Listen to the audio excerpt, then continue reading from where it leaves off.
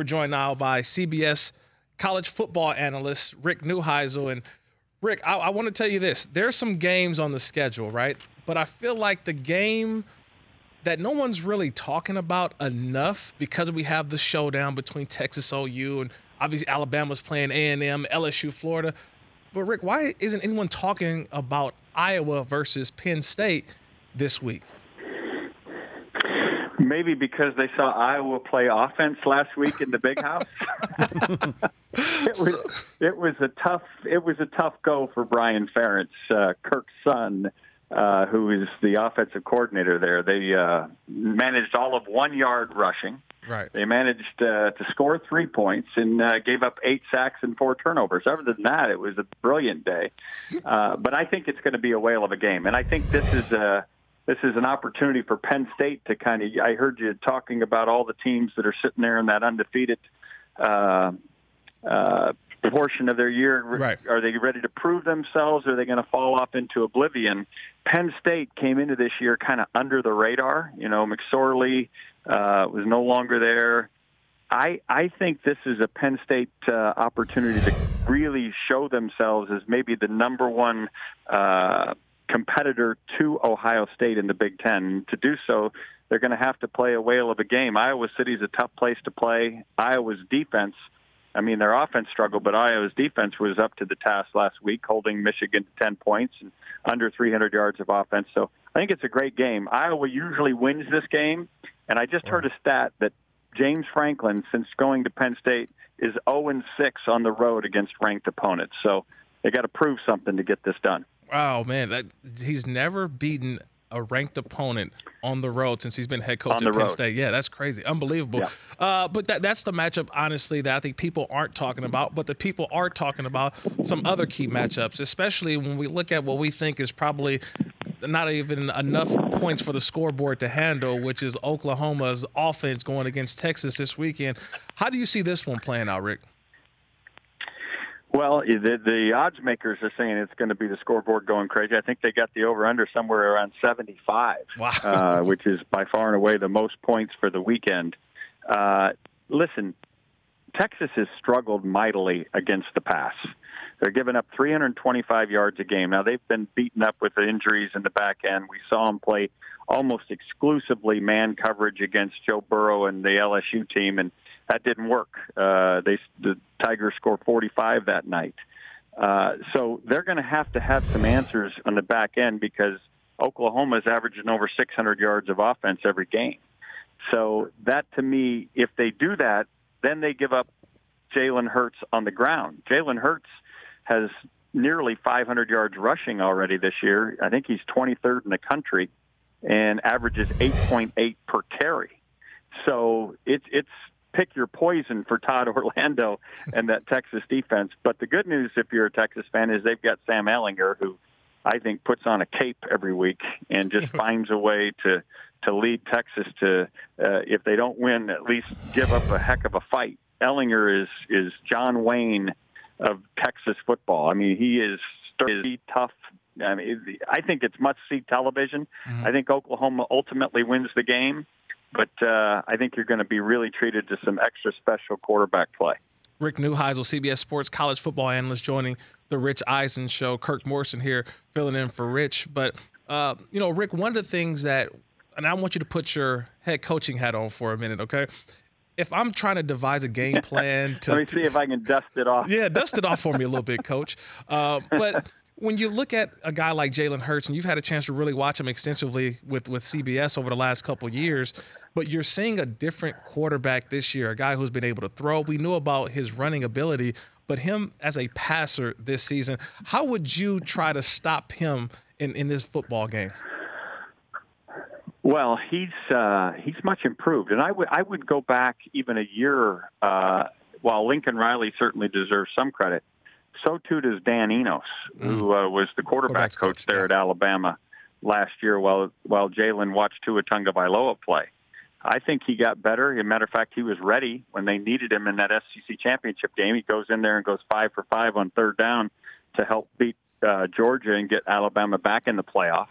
Uh, but he's clearly a much more refined quarterback today than he was when he was 26 and 2 as the starter at Alabama, where, you know, Lane Kiffin's offense had him looking deep and then coming down to a check down and then running. Uh, this to me has uh, much more in terms of scanning the field, getting across things, and when he's able to do that, and you get guys like CeeDee Lamb running deep open patterns, uh, it's been wildly dangerous. I mean, he's had over 400 yard passing games. He's run for as much as 175 uh, with his own legs. Uh, it's a tough, uh, it's a tough offense to corral, which we've known about Lincoln Riley. But in terms of a guy who can run between the tackles, you know, Kyler Murray was a guy who could run outside but uh, this guy can run downhill. That makes it really, really tough for a defense to uh, figure out a way to stop him.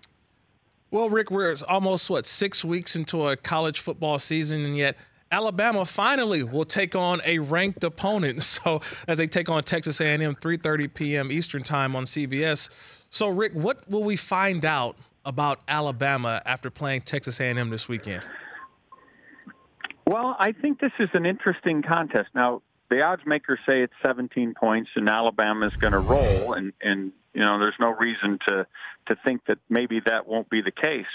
But I think this game sets up pretty well for A and M. Uh, Mike Elko's defense is built in such a way that everybody's got a responsibility. He calls it triple responsibility, meaning that almost all offenses with this RPO stuff going right. on have basically ways to uh, have basically ways to you know play option football. If if you do this, I'm going to do that. Right. And so all of his defenders have a responsibility. It's not just uh, play the ball or play a gap. It's they've got responsibilities on players.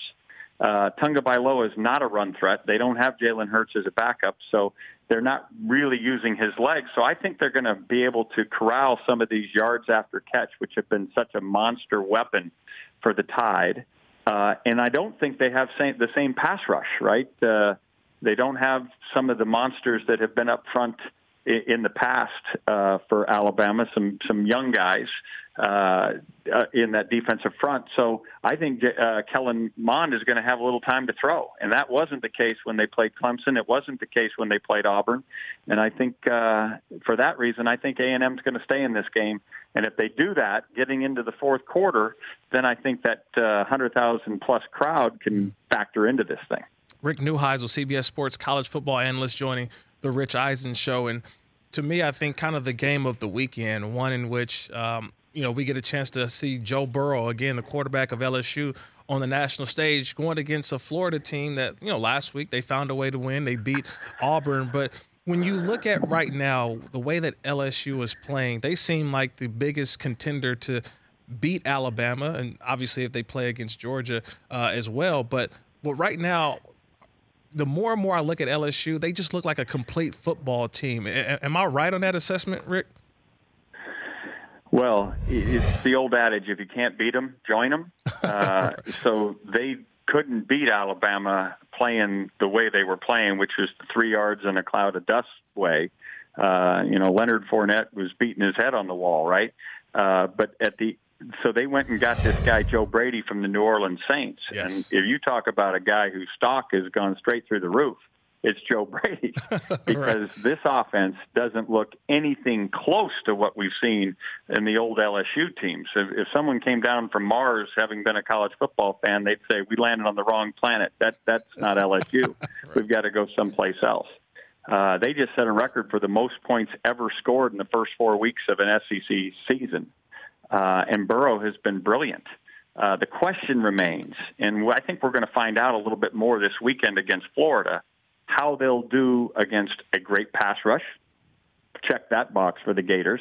They are definitely that. And if they get Zuniga back this week, that'll even be better. Against great corners, check that box with uh, uh, Marco Wilson and C.J. Henderson. Those guys are really good. This is going to be a fascinating game. The question is, what kind of shape will Florida be in offensively, given the magnitude and the, the physicality of the game last week against Auburn?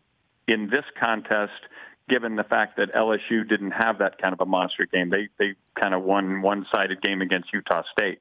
So I think that you have to lean towards uh, the Tigers there at home but do not sleep on Dan Mullen. I think he's always got a trick up his sleeve, and I like this Kyle Trask. If he's healthy, I think he can play uh, uh, salty enough quarterback to keep the Gators in this thing all all uh, four quarters. Yeah. You know, one more game I got to throw at you, Coach, just because uh, we're joined now by Rick Neuheisel, CBS Sports college football analyst. But as I look throughout the slate, obviously there's going to be some separation for some teams. At, at some point, you got to figure out who are going to be the contenders. Obviously, in the SEC, Big Ten, and the Big Twelve, but right now, I, I want to focus on the Big Ten because we've seen Ohio State. They're idle this week. They don't play anyone. But you mentioned Penn State earlier. You've mentioned some of the other teams as well, uh, whether Michigan at the end of the year picks it up. But how do you see right now the the Big Ten kind of playing out? Well, I think Penn State's certainly a uh, in a position to show that they're going to have an opportunity to take on Ohio State and, and, and maybe be successful. The other team would be Wisconsin. Right. Wisconsin in five games has three shutouts. I don't care who you're playing. You shut people out. You're pretty good on that side of the ball. And they also have the best running back in the country in Jonathan Taylor, who's having a monster season. So uh, if Wisconsin can continue to play, and they got a tough challenge this week against a really good run defense in, in Michigan State. But if Wisconsin holds serve this weekend and plays Sparty and, and beats them by a couple of touchdowns, like Ohio State beat them a week ago, uh, then you're going to be sitting there going, "Wait a minute, Wisconsin at at uh, the shoe here in a couple of weeks is going to be one of those games where we're going to be sitting there going, okay, winner's in." Uh, it's it's going to be a really fun game to watch.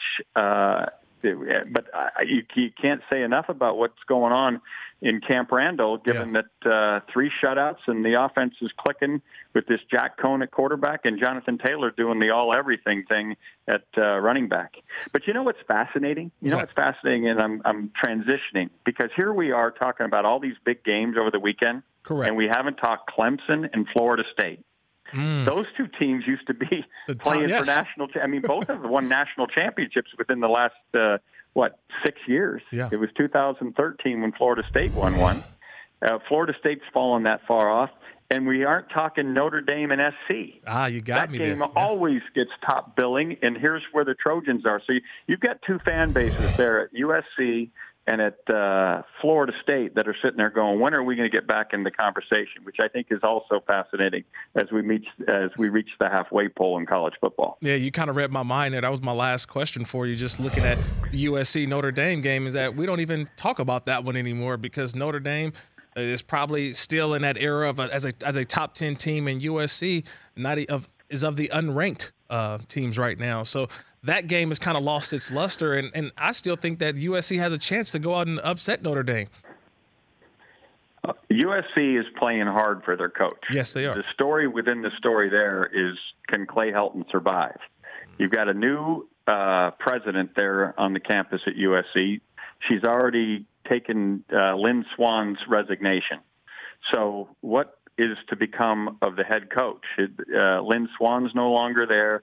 Uh, that, but the team is playing their tail off for him. That was on on display when they handed Utah uh, their only loss on a Friday night in the Coliseum. They got beat uh, two weeks ago against Washington up in Seattle. That's a tough place to play. I think this is the all or nothing round right here for the Trojans, and I expect them to play like it, to circle the wagons, and play tooth and nail against the Fighting Irish. I think the Irish probably win the game, but I think it's another one of those games that's going to go down to the final drive. Hey, Rick, I uh, look forward to uh, your analysis this weekend as I'm on my flight back from Kalamazoo, Michigan. So I get a chance to watch you on the flight back as as you uh, as you get a chance to get some work in. You and Brian Jones there on college football today on CBS. Thanks for the time, Rick. You bet. I deserve combat pay this weekend, sitting next to Brian Jones watching that Texas Oklahoma game. I, I seriously, I have to wear earplugs. I, I, there's shrapnel. There's shrapnel when you're sitting next to that rascal. I hear you. I hear you. It's always like that, man. You, we, uh, you know how the former players are, coach. You know how it goes. You're one.